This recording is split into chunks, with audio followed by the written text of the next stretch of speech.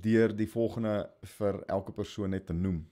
Ons het as gevolg van die storms gister om een of ander rede is ons fiber lyn op internet um af vir oggend so ek het nie wifi vir oggend nie en as gevolg daarvan is die lyn baie stadig. Ek het uh, op tethering gegaan met my selfoon en ongelukkig dip die lyn baie. Ehm um, so wat julle sal vind is julle sal sien dat die audio, my stem en so kom goed deur, maar hy mag dalk 'n bietjie hak. En wat ek wil vra is elke keer as dit hak, moenie vir my bid nie want ek weet nie ek hak nie. Ehm um, so moenie stres oor my nie. Ek gaan aanhou met die diens. Ehm um, moet net nie vir jouself stres nie. Ehm um, dit is die dis die belangrikste ding vir oggend. So wat gaan gebeur is die lyn uh, dip 'n bietjie op en af soos wat die wind en die en die uh, wolke en die alles die sellyn terughou. Jy behoort my stem ten minste die hele tyd te hoor. So elke keer wat ek hak, maak maar net julle oë toe en moenie dat uh, as ek op 'n weird gesig trek, uh, hak, moenie um begin lag nie. Um bly met my en uh julle sal sien dat die Heilige Gees um 'n doel vir ons hierin sal hê vir oggend. Um dat elkeen van ons mooi kan fokus op dit wat regtig belangrik is en dit is daarom my gebed dat die boodskap wat ons ver oggend gaan gee, dat die boodskap sal deurkom en dat elke een van ons soos ons hierdie boodskap hoor, regtig bekragtig sal word deur die Heilige Gees om um om te hoor wat die Here vir ons wil sê. Reg. Ek wil vinnig um voordat ek aangaan, wil ek net 100% seker maak dat almal hierdie volgende nommer het. Ek wil ook net vir jou sê ek het ehm um, dis belangrik vir ons dat jy die hotline nommer het. Ehm um, hierdie nommer is vir enige ehm um, huidige hulp wat nodig is of as jy hulp wil gee, as jy betrokke wil word met tyd gee of ehm um, selfs finansies of selfs kos of klere of wat ook al um in die gemeenskapsprojekte in wat ons hardloop of selfs in die gemeente in ons het 'n klomp uh, gemeentelede wat ons kan help op hierdie stadium deur Walk We Apply Loving Kindness, een van ons bedieninge. En dan ook Stelios en al ons projekte wat uithardloop. Stelios ons uh, public beneficiary organisation deur wat ons baie in die strate en die gemeenskap van George gedoen kry. Ons wil net sê dankie vir elke persoon wat betrokke is, dankie vir finansiële aid, dankie vir elke persoon se hulp en dit wat ingesit is. Um ons het persone gehad wat um wat 'n paar maande, 2 maande terug vir ons gesê het, "Hey, ons wil graag help um, om finansies te gee sodat as daar finansiële need is vir enigiemand wat nie salarisse kan trek of so nie." En wat so mooi was is ons kon daai geld apply um tot um ECD tot early childhood development ons kon crashes en onderwyseresse en so support wat uh, sy salarisse heeltemal weggeval het um en wat vir ons so mooi was is hoe ons kon seker maak dat wanneer alles weer oopgemaak het, die kinders ten minste weer onderwyseresse het waarheen hulle kan teruggaan. En dit is vir ons so mooi om te sien hoe gemeenskap saamkom en ons wil vir elke persoon sê so dankie daarvoor. Um ons kan finansies apply op 'n beautiful manier as gevolg van die feit dat ons public beneficiary organisation sterk aan die aan die hardloop is, administratief um en management wise regtig mooi hardloop. En so dankie as 'n gemeente, dankie dat julle in dit inkom. Indien jy van buitekant af inskakel en jy gaan, "Wow, ons het nie geweet um, dis wat julle alles doen nie en julle betrokke wil raak." Asseblief skakel hierdie nommer, nie net skakel nie, WhatsApp vir ons hierdie nommer. Ekskuus, hoor, die die skakel werk nie altyd nie want baie mense bel, maar WhatsApp asseblief vir ons hierdie nommer 0645375597. Dit is ons hotline, ons warmlyn. En uh, kom ons gebruik saam hierdie nommer wat ons opgestel het vir enige kommunikasie of resource of enigiets wat jy nodig het. Ek wil vinnig ook sê WhatsApp op hierdie stadium is vir ons een van die maklikste maniere waarop ons kan kommunikeer met die gemeente. Um dit is 'n baie lekker platform. So wat ons het is ons stel verskillende gemeentegroepe op. En in hierdie groepe wat ons doen is ons gee kommunikasie deur aan die gemeente. Ek weet dit baie van ons ek ingesluit haat dit as ek op 'n groep kom en daar die heeltyd kommunikasie deurkom wat ek nie kan kies nie. Maar een van die lekker goeders is dat hierdie is nie net 'n groep wat heen en weer kan kommunikeer nie. Ons groepe word alles administratief opgestel, so dis net die nodige kommunikasie wat ons voel as 'n gemeente ons moet deursit na ons gemeentelede. Sit asseblief as jy nie hou van boodskappe wat deurkom op so 'n manier nie, sit dit net op mute, maar kry ten minste die inligting. Moet asseblief nie jouself van die groep afhaal nie en indien jy jouself reeds afgehaal het van die groep, asseblief 'n teks hierdie nommer as jy weer op wil kom. Dis 'n administratiewe groep, ons nie 'n chat groep nie. Ons sal nie almal se se thumbs ups kry en uh dis nie 'n heen en weer gesels nie. So ons het nodig om sekere kommunikasie deur te kry aan die gemeente, veral nou dat ons nie gesamentlike Sondagdienste het nie en op hierdie manier ontmoet. So laat ons asseblief en gun ons asseblief die voorreg um om om kommunikasie te kan uitsit aan die gemeente van alles wat gebeur en aan die gang is. Reg. Wat ek vanoggend wil doen is ek wil graag begin deur gebed. Um wat ons dan gaan doen is ons gaan um in 'n tyd van worship ingaan. Um maar net voor dit as deel van ons afkondigings en dit wat gebeur wil ek graag die volgende afkondiging gee en dit is dat Stelios Academy, die skool wat ons begin het, um is aan die hardloop en ons het 'n klomp nuwe ehm um, leerdlinge sien inkom by die skool. Daar is nog plek. Indien julle dit moeilik vind met online learning met van julle kinders en julle ehm um, 'n alternatief soek, weet asseblief dat Stelios ons eie skool is is up and running. Dis nie 'n hoërskool nie, though. Dit is so skakel asseblief die Patria kantore of teks asseblief die hotline nommer ehm um, dan sal hulle die nodige nommers vir julle deurgee van wie julle kan kontak om te hoor meer inligting te kry oor die skool. Ons is so trots op uh, Niels en Elmarie, Rudy en Renet en die hele span ehm um, wat ehm um, hierdie hardloop well done met 'n amazing amazing span. So indien daar enige iemand is wat wil gebruik maak ehm um, van ons skool, maak asseblief kontak met daai hotline nommer. Ek gaan nou net weer vir julle die nommer ehm um, opsit sodat indien jy dit nog nie neergeskryf het nie, jy dit kan kry op hierdie hotline nommer. Sê dan asseblief net dit gaan oor die skool of die Stelios Academy as jy meer inligting wil hê en daai hotline nommer um, administratief sal dan vir julle die nodige nommer deurgee van wie jy kan kontak om meer inligting te kry oor ons skool. OK.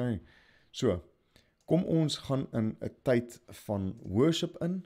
Ehm um, en net voordat ons hiernatoe gaan, wil ek net ons herinner as kerk Indien jy ver oggend ingeskakel is op hierdie diens, um en iemand het vir jou die link gestuur en jy hou van die Patria dienste, maar jy het nog nie noodwendig Jesus Christus as jou Here en Meester aangeneem nie. Jy het nog nie jou lewe voor Jesus neergelê nie. Jy het nog nie jouself laat doodgaan in hom nie.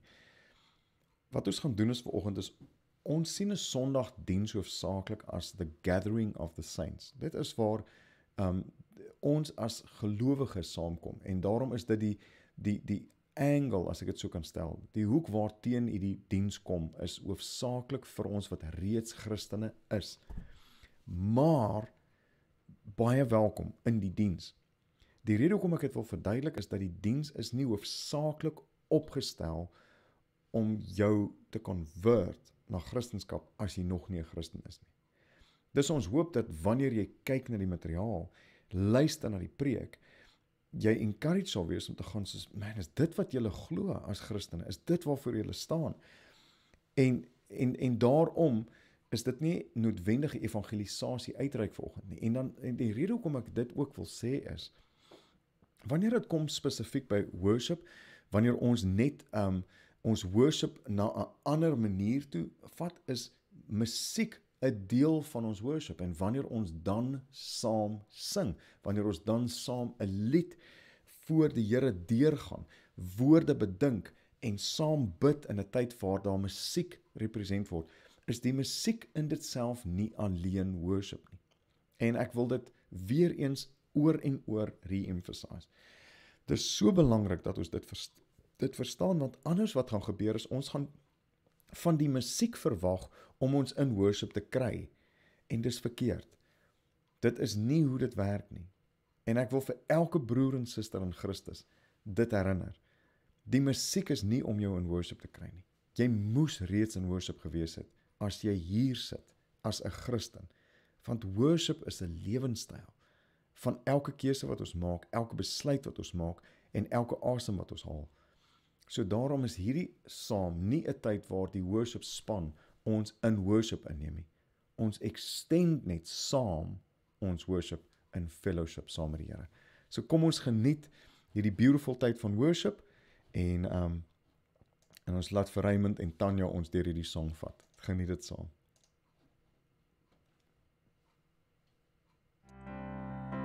Good morning, Patcher Family Church. What a joy to be with you this morning. What a joy to serve in those moments of worship and, and, and music unto God, where He has given us breath in our lungs to, to praise Him, to worship Him with. And for us, it's a joy to, to serve you in this moment. So there we are, gathered as family, streaming in on, on devices. The Holy Spirit is already present in every home. And we came into this moment with our worship, not only to worship, but we truly came with worship. So let's join our voices. The words will be on the screen for those who don't know the song.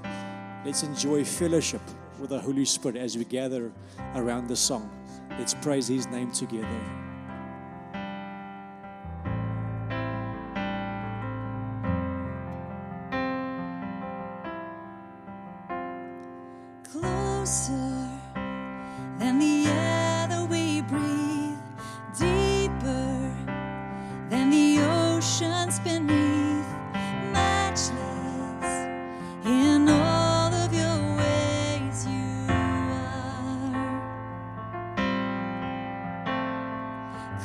死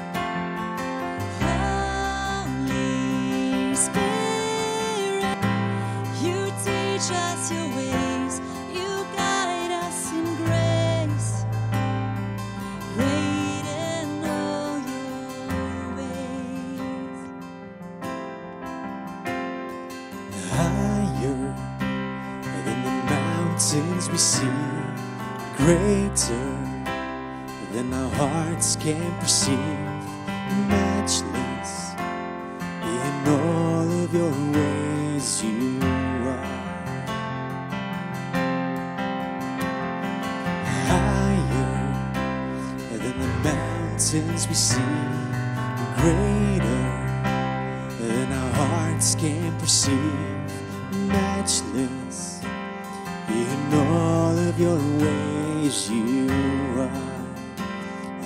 Spirit,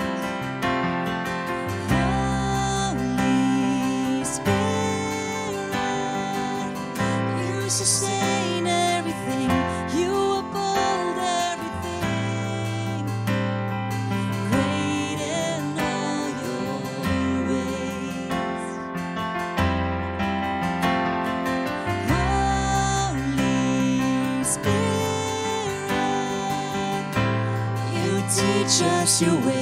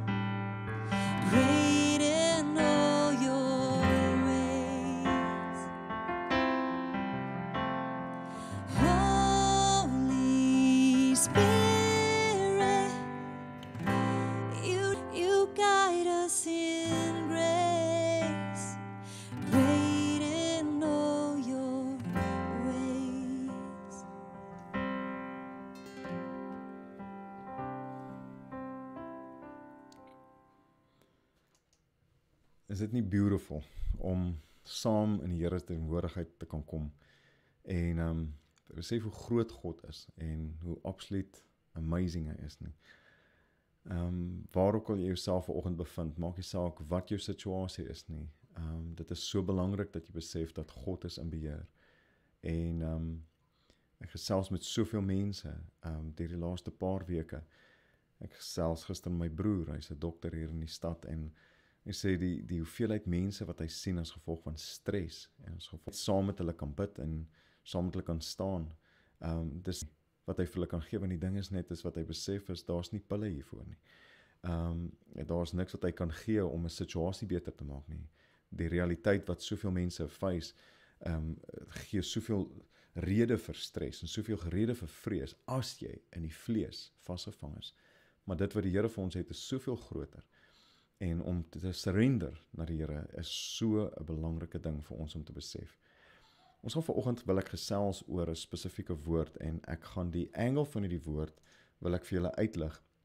Ons gaan hoor ehm um, hoor sy stem is is die is die titel van van hierdie preek, maar wat ons gaan doen deur hierdie diens is ek gaan dit opbou na 'n spende van hierdie diens. So dit is een van daai dienste waar ek julle op 'n journey wil neem op pad na 'n spesifieke angle. So hoor sy stem is die titel, maar dit is nie eintlik waaroor dit gaan nie. Dit is bloot omdat hoor sy stem gaan oor dit wat mense so gereeld vra is, is dit moeilik om sy stem te hoor?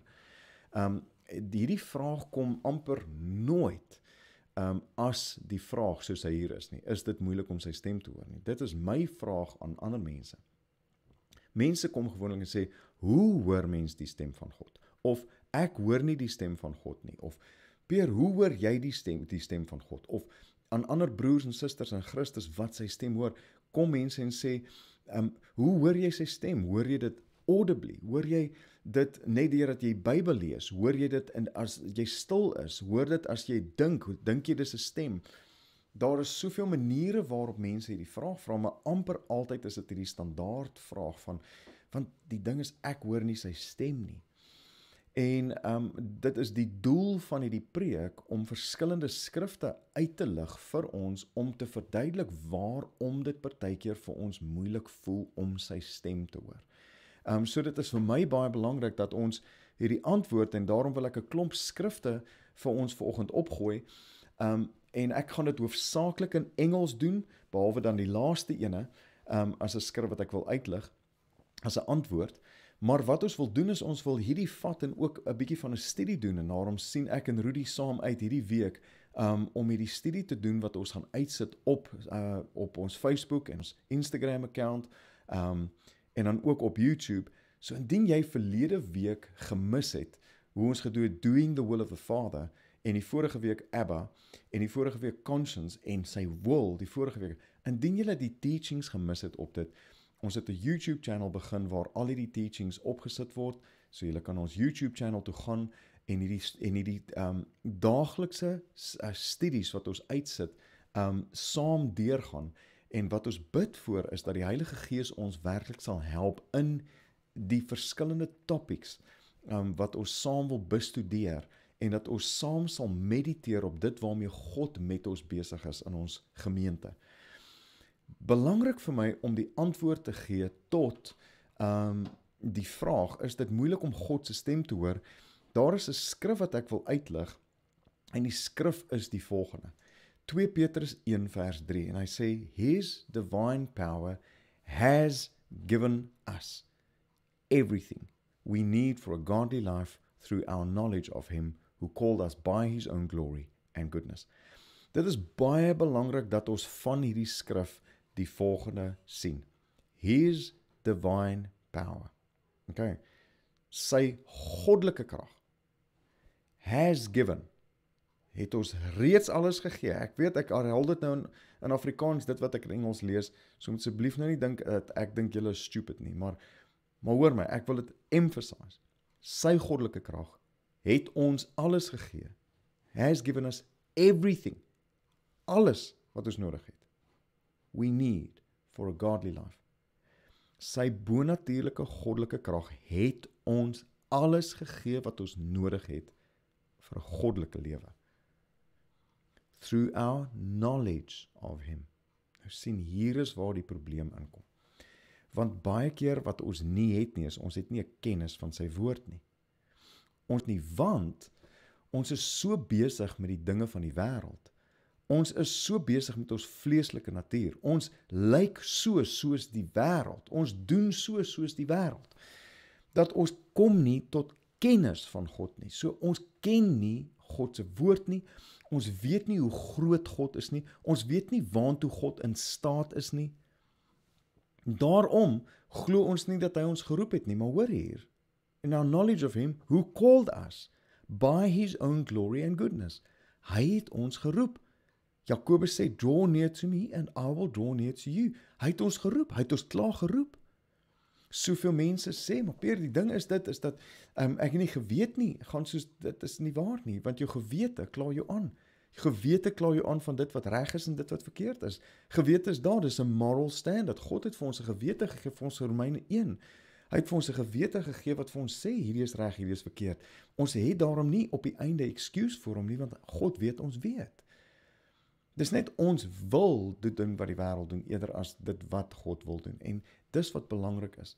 Daar's mense met wie ek vanoggend praat wat disciples is van jonger disippels wat hierdie gaan hoor en sê, "Ja, dis 'n dis 'n angle hierdie wat ek so graag na my disippels toe sal wil neem want want hulle verstaan dit klaar want hulle doen die moeite om knowledge te bou in die woord van God. So hulle doen klaar die moeite, maar dan's 'n ander wat vanoggend sit en gaan soos ek sukkel hiermee. Dis presies waarmee ek sukkel.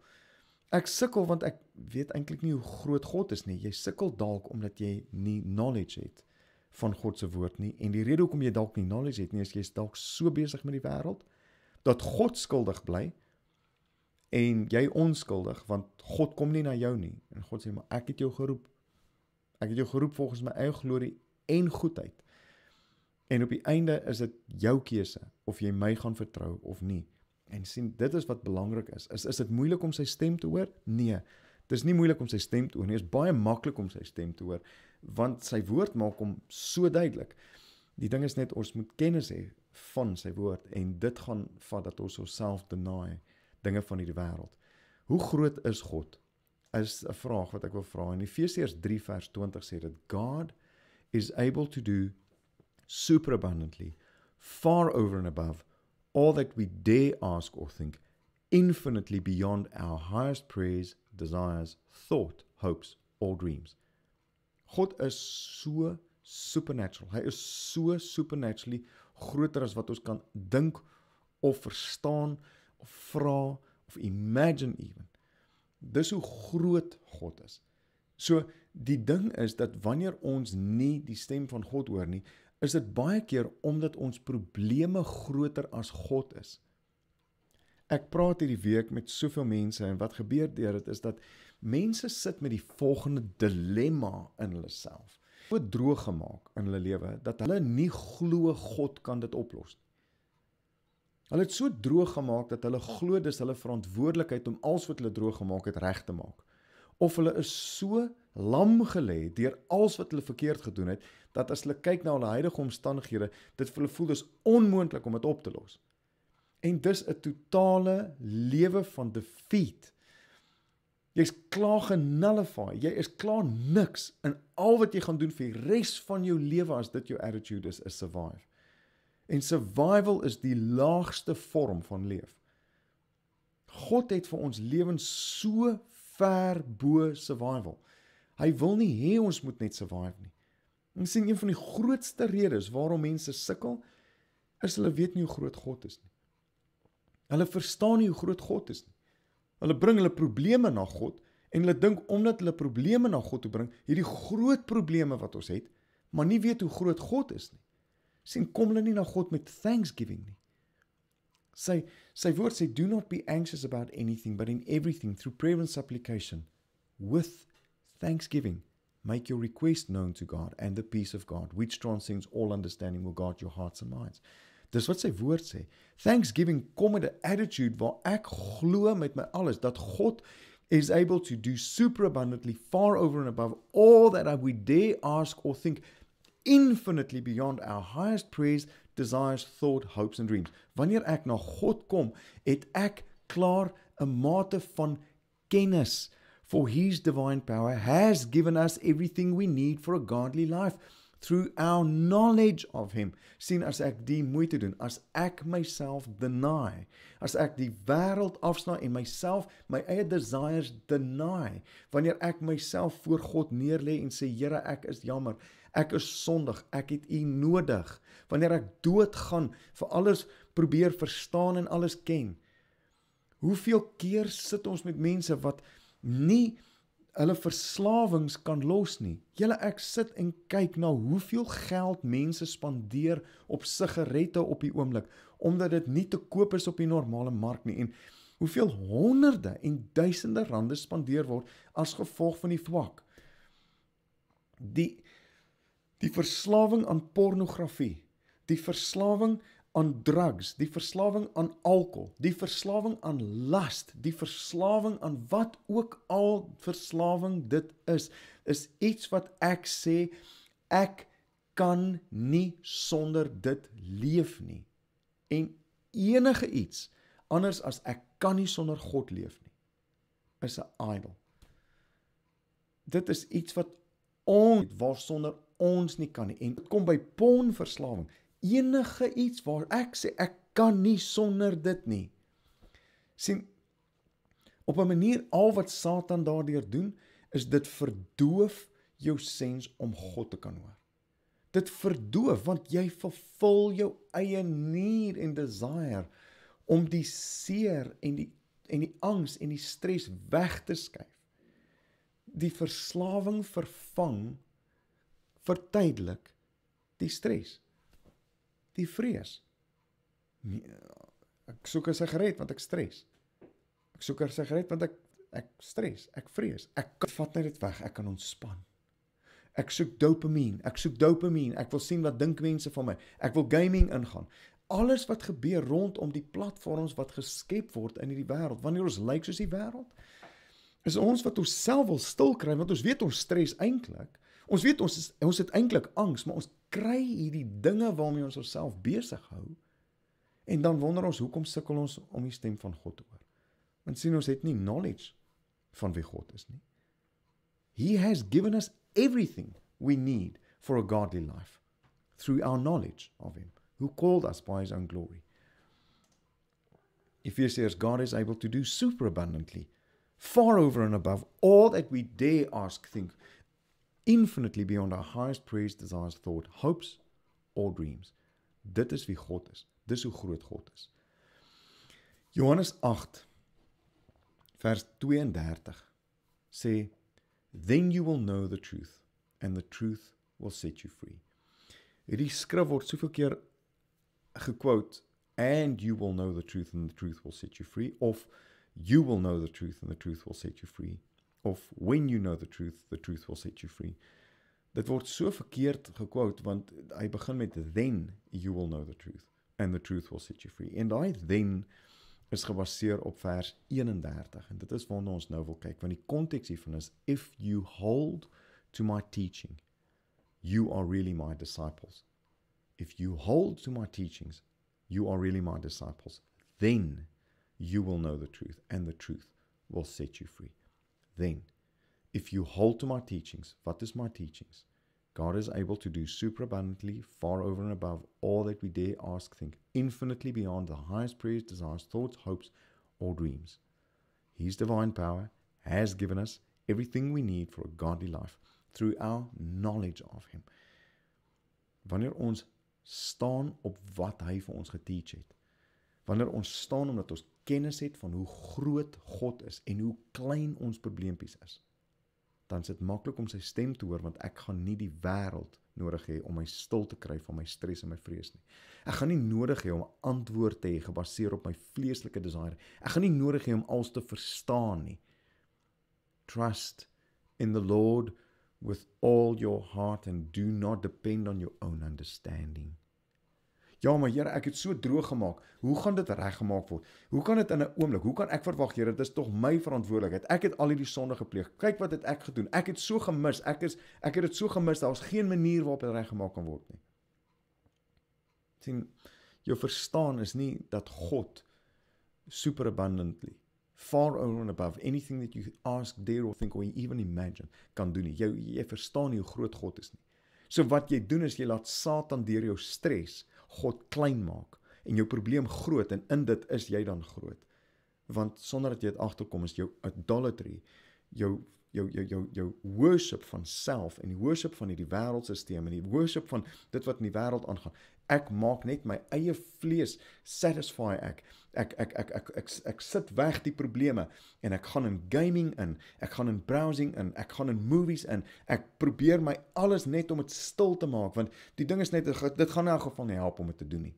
Dit gaan in elk geval nie help nie want want want wie's God? Hoe hoe groot is God? Want sien hier's die ding, ek kan dit nie regmaak nie. En dit is omdat jy nie verstaan dat God se woord sê vir ons, do not conform to the pattern of this world. Be transformed by the renewing of your mind. Then you will be able to test and approve what God's will is, his good, pleasing and perfect will. As ons nie bereid is om tot daai punt te kom van onsself neer lê nie, getransformeer word deur die renewing of our minds.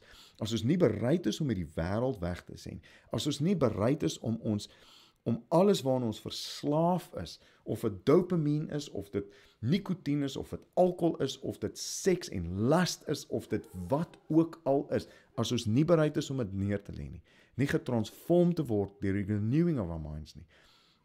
Hoe gaan ons test? Want dit sê then you will be able to test and approve what God's will is. His good and pleasing and perfect will. Ek wil gaan na Kolossense 2 vers 2 tot 3. Dit sê my goal is that they will be encouraged and knit together by the strong ties of love. I want them to have full confidence because they have complete understanding of God's secret plan, which is Christ himself. In him lie hidden all the treasures and wisdom and knowledge. Die plan wat God uitleef hier op aarde is deur Christus. Daarom moet ons verstaan dit is in Christus wat die plan uitgevoer word deur Christus. Ek is nie Christus nie. Christus is Christus. Nou ek moet hierdie vertel. Ek het my lewe opgegee om te doen wat ek hier doen. Ek en Rudy het 'n groot konsultasie gehardloop. As ek sê groot konsultasie in die sin van finansiëel, groot dit was net ek en hy wat vennote spesifiek 50-50 vennote in die, in in die in die in ingenieurswese en projekbestuur konsultasie was. En in daai konsultasie het ons baie sien inkom en die vermoë om geld te gaan genereer was daar want ons was in die mynbedryf en ons het aanlegte gebou, designs gedoen, dit gaan bou, die turnkey gee vir hierso is die sleutel en dit aangeskakel gekommission en daar sy. Ons het daai lewe opgegee om te doen wat ons hier doen en hierdie is my passie. My passie is die kerk van Jesus Christus. My passie is om mense te help teach en en by die waarheid uit te kom. Dis ons passie. Die rede waarom ons opgegee het wat ons opgegee het is want Christus is ons passie op 'n stadium in my lewe het ek gelas. Ek het gelas na pornografie, ek het gelas na um na na seks. Hier's die ding, dit was 'n is 'n vorige lewe, maar ek ek weet presies hoe daai lust voel. Ek was geleur na daai lust toe.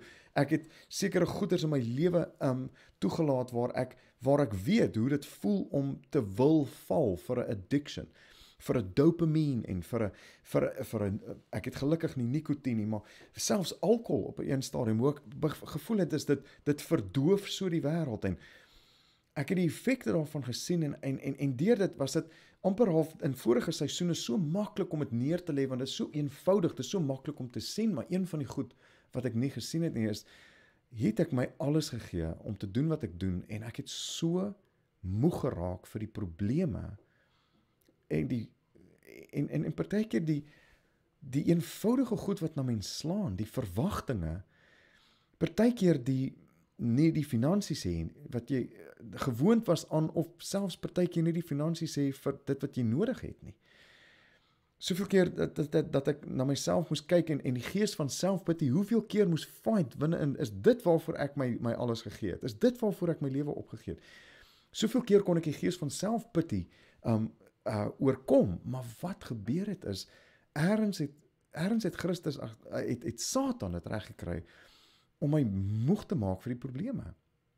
En wat ek gedoen het op 'n stadium is ek het weg begin staan van Christus toelaat om Christus te wees in my lewe.